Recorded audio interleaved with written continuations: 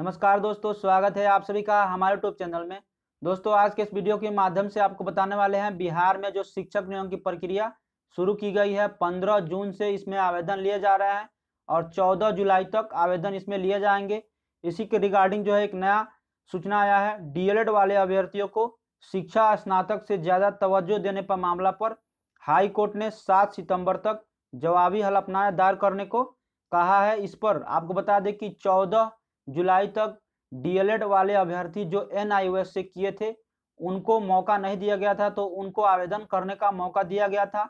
लेकिन बुधवार को हाई कोर्ट ने इस पर शिक्षा विभाग को नियुक्ति पर रोक लगा दी थी कि इस पर नियुक्ति प्रक्रिया अभी नहीं की जाएगी, क्योंकि जो दिसंबर में सीटेट पास किए हैं अभ्यर्थी, उन्होंने हाई कोर्ट में केस याचिका दायर किया है।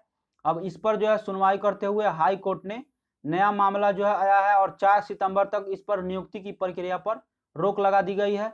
अब इसमें एक और नया मामला आ रहा है कि जो डीएलएड अभ्यर्थी हैं और जो शिक्षा में स्नातक किए हुए हैं, उनका जो है मेगा सूची दोनों का अलग अलग तैयार हो। इस पर भी हाई कोर्ट में याचिका दायर किया गया। इस पर सात दिसंबर तक सुनवाई होगी।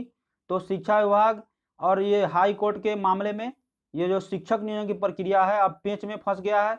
आपको बता दें कि ये पटना हाई कोर्ट ने डीएलएड पास प्रशिक्षित उम्मीदवारों को शिक्षण स्नातक से ज़्यादा तरजीह देने वाले पर मामला पर रोक लगा दिया है।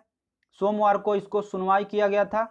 आपको बता दें कि शिक्षा विभाग ने 17 दिसंबर को आदेश जारी किया था और प्राथमिक शिक्षक नियोजन के लिए एनसीटी से मान्यता प्राप्त संस्थान से शिक्षा स्नातक में उपाधि लेने वाले जो अभ्यर्थी हैं, उनको एक से पाँच तक पढ़ाने के लिए नियुक्ति किए जाएँगे। इस पर 17 दिसंबर को आदेश जारी किया गया था।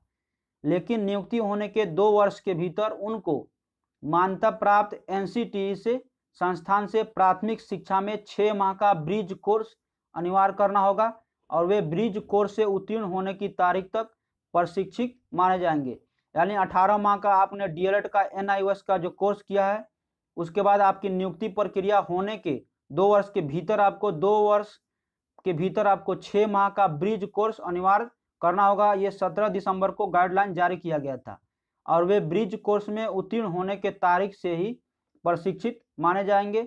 लेकिन यहाँ पे मामला आया है कि दो वर्ष ये जो प्रशिक्षित उम्मीदवार नियुक्त किए जाएँगे तिथि से, वे प्रशिक्षित तो माने जाएँगे, लेकिन एक नया जो है नियोजन के बाद डीएलएड और शिक्षा स्नातक छात्रों में वरीयता सूची के माने एक नया आदेश जारी कर दिया गया है।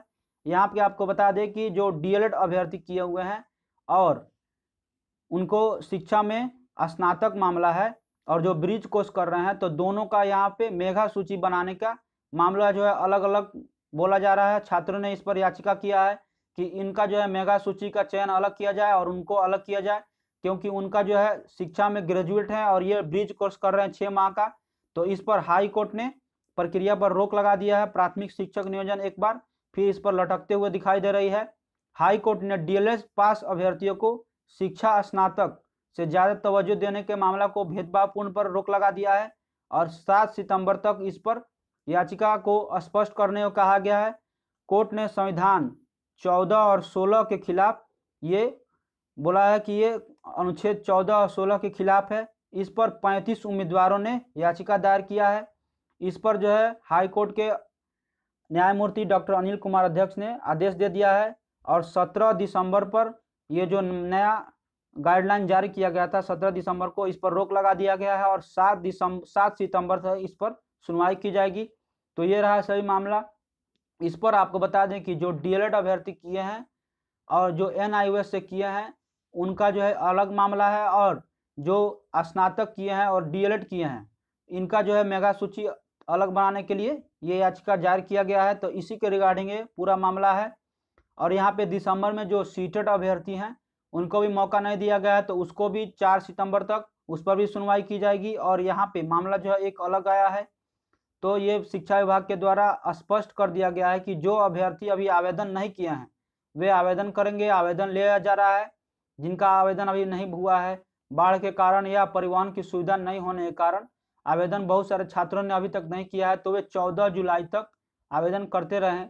अगला जो है, आदेश आने के बाद जो है, इसमें नियुक्ति की प्रक्रिया के बाद आगे की मामला जो है, अभी तक नियुक्ति की प्रक्रिया नहीं होगी। जब तक ये पूरा आवेदन नहीं लिए जाएँगे और कोर्ट में इसके लिए अलग अलग छात्रों ने यहाँ पे बोला है कि दिसंबर में जो सीटेट पास अभ्यर्थी हैं, उनको भी मौका दिया जाए तो उसके रिगार्डिंग जो है, नियुक्ति प्रक्रिया अभी नहीं होगी, उसका भी सुनवाई होना है। तो उनको भी आगे मौका दिया जा सकता है। अब कोर्ट में इसका निश्चित किया जाएगा कि ये आगे उनको मौका दिया जाएगा या नहीं। तो ये सभी रिगार्डिंग न्यूज़ है। तो वीडियो अच्छा लगे तो इसे लाइक शेयर और करें और कोई मन में कन्फ्यूज़न होता है तो आप कमेंट के सेक्शन से पूछ सकते हैं। तो मिलते हैं किसी नए अपडेट्स के साथ। तब तक के लिए जय हिंद, जय भारत।